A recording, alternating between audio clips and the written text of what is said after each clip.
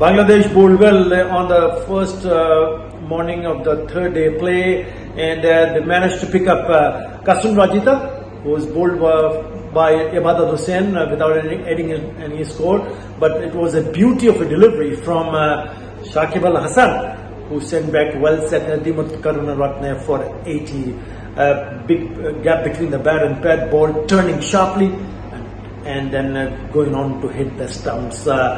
But uh, thanks to the partnership of 46 between Angelo Mathews, who's unbeaten on 25, among Tashaate Ache, Dhananjaya De Silva, who has scored 30 no doubt. So it's an important partnership because things are looking, uh, uh, it can go either way, you know. Uh, it, uh, the test match is uh, poised nicely.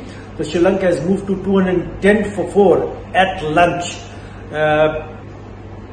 The rain has just started to come, so they have to go off uh, when Shakib had only bowled one ball. Uh, so I hope the rain stays away because it, there's a good contest in the middle going on.